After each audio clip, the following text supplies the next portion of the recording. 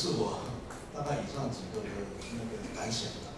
啊，跟各位讲话啊，非常感谢今天能够参与这样的一个，也让我也学到很多的，感谢谢谢。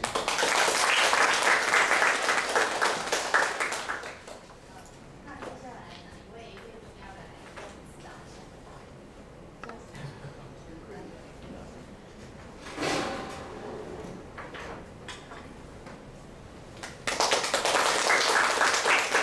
呃，谢谢各位哈，今天也是来这边也是很，我没有想到，我是本来是想来听，没有想到要讲话哈。那个我跟明天认识也是好好多年前了，因为呃也是我主动找的哈，我是我不是看了你那本书之后，呃世界上最美丽的问号，对不对？好，我是之前我就开始，因为我在东海东海有个东海湖。然后我在整治那个湖的时候，就就是我我是用减法的观念，就是刚说的嘛，减法，我是把不属于东海湖的东西全部都搬走，我把东海湖四周的水泥跟砖全部都搬走。然后那个时候我就是在文化文化部就给我一笔钱来处理这个这个案子。后来我又设计了一个步道，叫做孟古提明了，就是从东海西边一直往东边走，走到工业区那边一一一条全长三公里的一条步道。我那时候就碰到很多困难，但，不知道怎么做，就就我就打电话去去台大去问王武松老师，王武松老老师因为他是心理步道的发起人嘛，他就说他说他身体不好，他介绍一个人真是随便就跟你联络上，我说是最近这几年来也一直也我也我记得我请了，我进来过来好几次了哈，请他来推广这个步道，我也请过文先生，啊，呃他们也来帮我们。上过课也是我们在东海那那条三公里的那个步道里面有小段我们是用那个呃手手做方法，哦，这个我后来发现到搞了两两三天才做了几公尺，一个好好多的好慢哦，从我我是学建我是建筑师，从我学建筑角度看，我说两三天我已经可以做好几公里的步道了，为什么我们手工做做两三天才做一 小段而已。没有什么效率，可是我觉得是很好，到现在都都很好，都不会有问题啊。所以我我想那个那个呃，就是这个就是一个一个故事了。我想你们是呃很专业的在学习啊，然后我我我不是，我现在是一个教书的老师，可是我有带学生到外面去做过啊，然后也是用手工的方式我们做。我们我最近这几年我我开始走那个呃服务学就是带着学生用我的专业。带学生去一些呃，就是在龙井那个地方，好像从瑞景来看就会知道哈。那个，因为我也常常到瑞景，你们刚刚所说的那个步道，我我走过很多次了哈。可是我觉得有点可惜哦，一个花甲少年转大人的的迷望就比这个步道大很多。我没有什么广告哈，哦，你们应该也都都知道了哈。那个，可是我觉得非常好，那地方非常好。然后我就带学生去像去那个呃。呃，那个呃，去去了一些那附近的学校，还有一些呃关怀协会、像天关怀协会，我们就替他们做了一些手工做做了一些角落空间。比如说一个角落空间本来是很很多人丢垃圾的，你把垃圾清清干净，过两天他又丢了，啊，然后越丢越多，然后我们是彻底的把它给改变，我们就把那些空间把它重新由学生来提案，然后可能就变成一个等待呃呃呃。可能是等待父母来接孩子下课的一个地方，然后或者说一个是变亮的角落，或者说是一个聊天的空间，我们就开始做这种这种事情。那我们用的方法也是非常的土，因为学生没有什么工具，我们只是用手来做，自己锯木头自己买，自己去买砖头来砌，或者用石头来垒，就是用这样子的方式来来做我们的角落空间。我我最近这几年也做了，啊，我连这样加起来也做了三十多个类似这样子的一个角落。光是在龙凤国场就做了十二个，哦，本来今年要到瑞瑞安瑞瑞安国国国小去做，瑞安嘛，就是在那个就是在瑞景旁边有个国小，瑞丰或者瑞哦对，瑞丰对对，可是因为他们现在盖那个大楼，后来就改成明年去去那边做，所以我们也在做类似的事情，所以我我是觉得这个是也也是用手来做的哈，用手做的效率不高，可是却很有感情，啊，我想这个是很重要的。的一件事情，我我最近，因为我我之前我是从事除了教书以外，呃，当建筑师跟教书以外，我也做了很多年的呃社区社社区整体营造。然后我后来后来就没有没有在做了，因为那个要花很多很多的时间，因为都是礼拜六礼拜天，呃，还有晚上要去开会啊，去工作等等。我就发现到有一些矛盾的地方在哪里？刚刚都有很大家在报告的时候，我我觉得你们都觉得你们都希望他们能够维持很原始的方式，意思也说你们希望不要太多人去使用，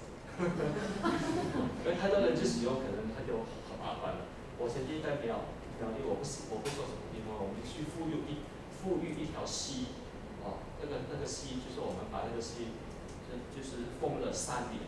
终于那个溪开始富裕了，有有鱼在那边游，然后非常漂亮。本来只是一个一个大概呃大概不到几百公尺的一一个地方，就是有沿着这个溪边，啊，就是有一些简单的碎石步道啊，石头像我们手做的很很困难。然后后来社区整体营造就就介入了，就开始富裕，富裕完了之后，哎，富裕上不错，就开始跟政府要了钱，就开始。把那些碎石的铺到石头的铺到这边成花岗石跟大理石，然后然后哎后来人多了啊，哎就开始要盖厕所，要旁边盖个厕所，因为有钱，然后有了厕所之后，哎就有比较多人来，就有游览车来了啊，就像我们的那个蓝鸟步道，很多阿公阿妈去坐游览车然，后呢就盖了厕所一样，然后游览车就开始有游览车的停车场。然后有了停车场之后，开始就有摊贩过来，哇，那个现在不敢回去看。这个好像是台湾的现象，就是这样，有了钱就多乖，没有钱就乖乖的，都用被土方法做。有了钱都是大工程，开始要包括刚刚那个有提到公共公共采购啊什么等等的很多很多这件事，我觉得这个也是很难，我们很难去克服这些问题，因为我们觉得我们就是希望能够。都有一个很天然的，让我们可以去享受。因为以前这些步道都是，都是我们每天他们都会经过的一个生活必须要走的一个路径。现在变成是休闲下不去，啊，然后我们就就开始，那我们的态度是什么样子？我们态度是要是要保护它，不给别人进来，还是我们来开放？开放可能就会其他的问题。我有个很好的朋友，可能大家都认认识他，他叫黄黄胜远，就是我们在宜兰的一个建筑师哦，是我的学弟。然后我去宜兰了，他总会花时间带我去看一些神秘的地方，他的私房景点。我说哇，那私房景点那么棒，他说为什么你不跟更多人说？他不能跟别人说，一跟别人说完，圈圈千万不能跟记者说。所有的那些，因为大家知道宜兰有很多水，很多那个那个水泉，啊，那个那个那个泉水。哦很多人，很多阿公阿妈都，很多阿妈都在那边洗衣服的。然后说你你大家都知道就不得了，可能那个地方就变了啊。所以我想这个是一个很，这个就是我们态度是什么。然后我也很，因为我现在在东海，我也我也有参与博雅书院。那博雅书院书院，我们每年我们会有一个很大的活动，就是我们叫做讲师营。所以说他是三年级的时候，他要讲到了，我们我们要安排一个一个一个礼拜的一个野外活动。这个野外活动就是他们必须要行走三天到四天的路，走路一天可能都要走三十多公里，然后都是走这些步道跟这些山路。当然是早上一一早走，然后通常我们都安排说大概可以呃呃六点钟开始走，大概六六点钟就可以到，十二小时到。可是通常会拖队，然后。大部分的话都是我们等到最晚的是晚上十一点半才能到到齐，到齐才能够吃晚餐。所以那个，然后同学一边走，对，天黑时候一边走一边一边哭一边骂，因为不想要走那么远。然后我们两年前我们走了一条特别的步道，也是我们我们去开发的，是我们从从那个刚刚提到没有错，我们一开始前几年都在北部，结果都碰到水，雨水没有水。然后这两年，这两三年我们就开始往南部走，就比较不会有水。而且我们这个天气调查很重要哦。我们前两前两年我们也开过一个步道，就是从看到台湾海峡开始走，然后从旭海那边出来，了三天，也是一边走边骂。可是当他们看到太平洋的时候，他们就大家都是开始笑了，啊，终于走到重点了啊！啊，所以我觉得走步道就是有这样的一个一个一个一个盼望啊。所以，而且特别是我们书院生，我们是要求他们是走长距离。啊，长距离的观念就是一个走一个人可以走很快，啊，可是一一群人可以走很远，啊，你聊聊天，你你就走一路就非常远。这个是我们。我我我觉得我我我现在可能比较忙，我很希望我不忙下来，我就要参加这个步道，开始跟跟跟你们一起做步道走步道，谢谢。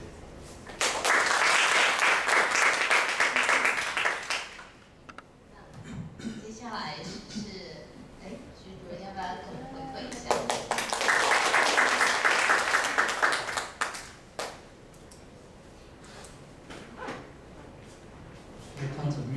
各位老师，各位谢谢大家。诶，其实我从事公务人员，在国家公园已经大概三十几年。那我在国家公园一些登山步道，其实诶，刚才我听见简报就是手到，它有些优点。第一个，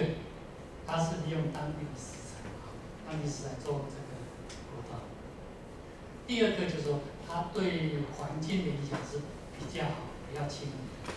那以前，诶，国家公园的登山步道是，它，比如说它前半段是用一些石块的，或是木栈道做一些步道，但是到高山上就很难做这个，不管是木栈道或石头都很难做。所以这种现象就是说。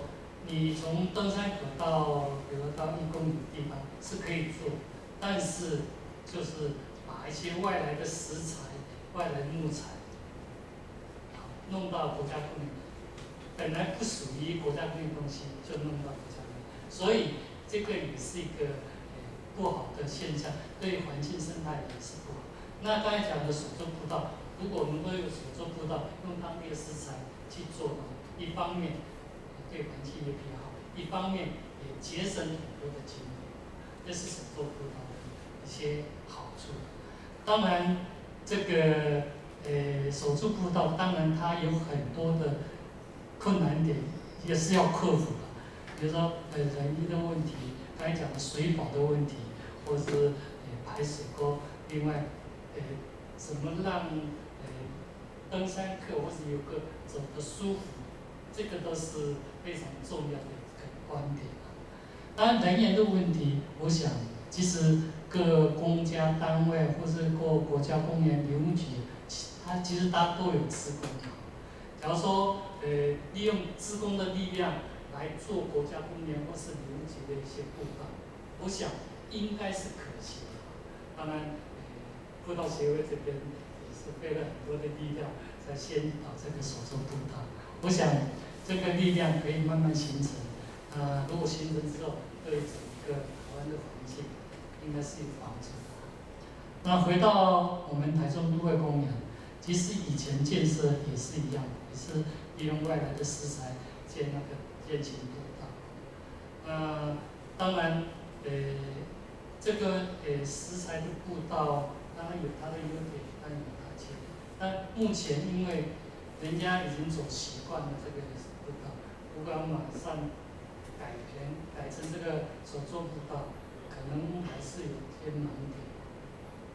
不过我们现在就说，哎，假如说还没有做的步道，可以试看看来做手作步道，来比较看看。哎，如果说真的很好，来走也很舒服，对环境也好，我们可以可以慢慢来改改进这个步道，让不会功能。比较接近自然，减减减少这个人工化，也可以减少一些经费啊。尤其政府刚才主笔讲，现在政府机关经费越来越少，对，所以我想所做不到，未来可以朝向的一些方式。以上。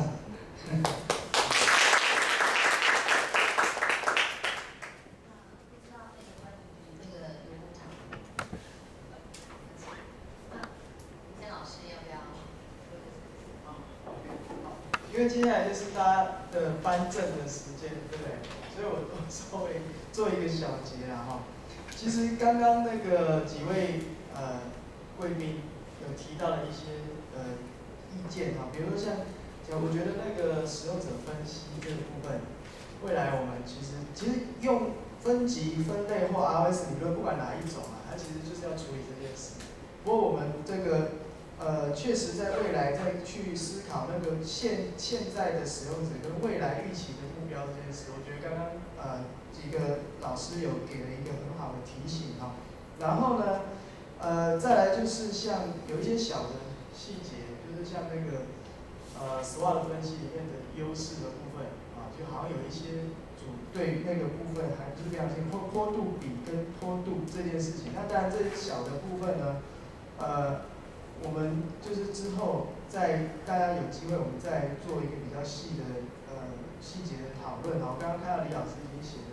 已经写了一整张，每一组需要再加强的部分。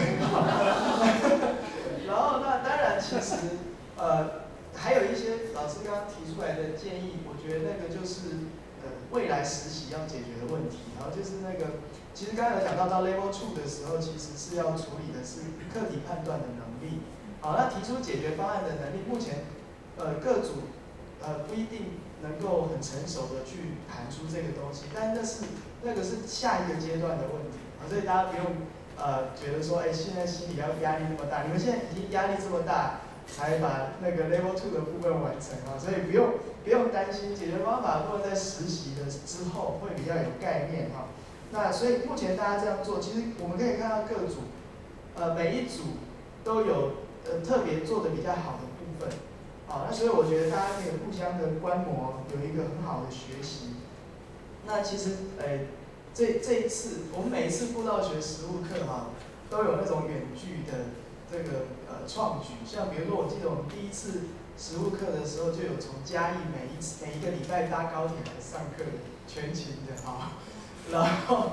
那个呃，第二期实务课的时候，从南投每个礼拜搭高铁来台北上课哈，然后到了我们这第三期实务课的时候呢，就有花莲跟台东跟台北的这个视讯连线上课的哈，所以我们这一次的技术含量非常高。我是说我们上课的技术含量跟人力的技术含量，然后所以其实台北组的呢，就是有好几次，像包括今天啊，就是会开车来到台中来学习。所以，呃，其实我们实务课的这个学员，大家的热情，刚刚我听凯丽说，那个各位呢是文山社大有，呃，所有课程里面呢唯一全员退保证金的一堂课，全员退保证金，好，这个是非常非常的不容易啊，就是呃，真的坚持到现在啊，那所以，呃，我们接下来那个。今天大家待会的重头戏哈，就跟你们就要领到你们的结业证书。我们那时候说，我们十二月七号到九号，啊，是所有的学长学姐学弟学妹大家一起上嘉明湖做手作步道的时候哈，所以那个 大家记得那时候是我们的 reunion 哈，就是重新再大家一起聚在一起。然后呢，明年的一月五号，大家会加入刚刚我说的那个四百多人的大家庭里面。啊，所以，呃，非常欢迎大家，也非常感谢大家这段时间的努力跟付出。啊，从我们第一次在台中尝试的，不是每个礼拜的晚上，啊，然后是是是变得密集在暑假的礼拜六的一整天。啊，所以对大家来说可能也是一种折磨，对我们来说也是一种折磨。这么多老师要搭高铁来台中。对于文山社大的成本，哈，所以真的非常感谢幕后的这一些工程，好像刚刚执行长，哎，执行长，执行长就讲到凯丽跟静怡哦，他们搬工具的身影，哈哈哈哈哈哈。这些幕后的工还包括建熙，哦，建熙。建熙其实他自己上课的时候还没有全勤，哈哈哈但是他担任这个我们所全勤的哈，所以这些都是非常非常不容易啊，就是非大家都非常不容易，包括像玉秋去了基隆，呃接到了这个讯息之后，还愿意从基隆再回来上课哈，那当然，呃，这个我们就希望大家的努力可以持续下去。那我们的卧虎藏龙，刚刚有提到，像包文静是土壤专业啊，玉成是那个哺乳类动物的专业，所以这次我们的每一组都有自动相机的观测，这也是我们这一届非常的强的这个技术含量的一部分啊。然后包括学习的这个呃这个它的影音的那个技术哈，那当然刚刚可能比较紧张一点，因为他的 PPT 出了一点状况，所以变 PDF，对减损了一点精彩度这样啊。好，那所以其实各组都非常的非常的厉害，值得期待。非常谢谢大家的付出，谢谢。好，那最后我们来颁发那个教师的感谢状。我们呃这一次的那个教师群总共有五位，那就是那个除了文老师他有要事没有办法上来，呃，所以我们目前呃在现场的有四位：李佳芝老师、徐明谦老师、陈祥军老师、陈建新老师。我们请我们那个林山社大的教务顾问来颁发感谢状，谢谢他们。就是不辞辛劳从台北下来陪我们一整天在这边练功，谢谢你们。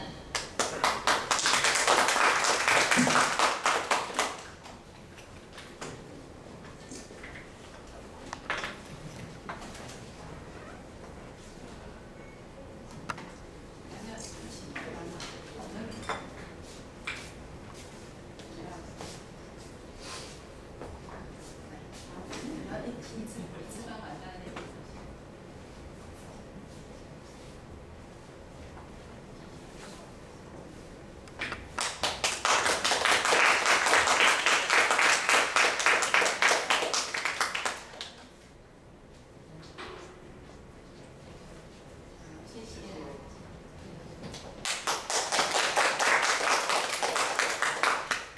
那那接下来就是我们班结业证书，我们这一班真的是精英啦，全数通过，真的是非常难得。那我们可不可以第一组，我们请那个呃主力来帮我们第一组的那个学员，第一组学员张玉秋、呃徐成伟、林丽凤、陈静佳、岳一轩，来请上台。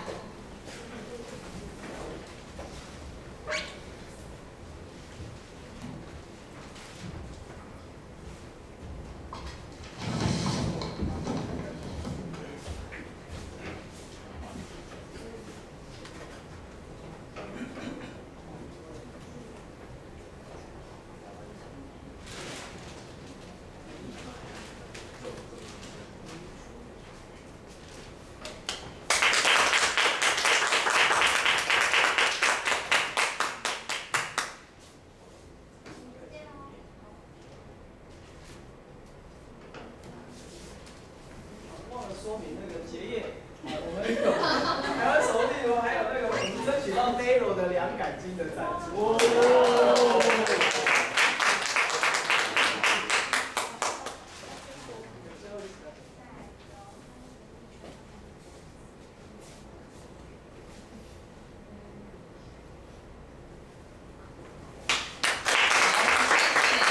各位。那第二组我们是不是请李佳老师来颁发？我们第二组那个结业的学员有吴文静、郑杰仁、朱太树、李一斌、陈红购，请上台。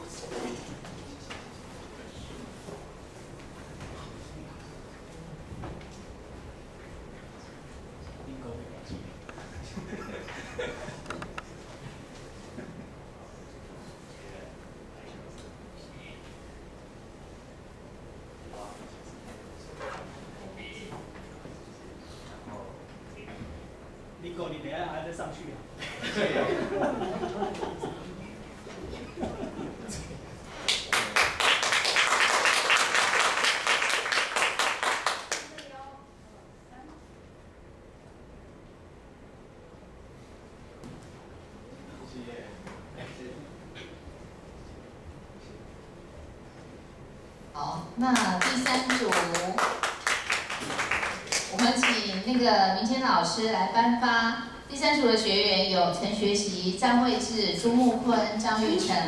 啊，对，张学张学习，嗯，待会儿。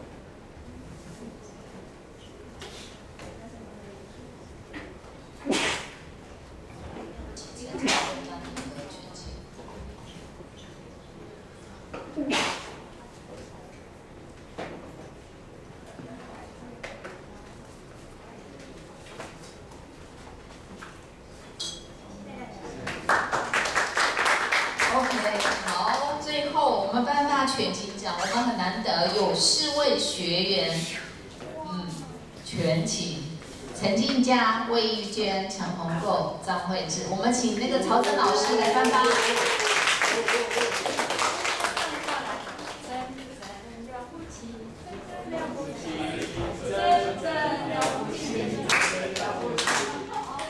全奇的，我们是送那个刚出的台湾千里步道协会的头巾，哦，上面有手作步道。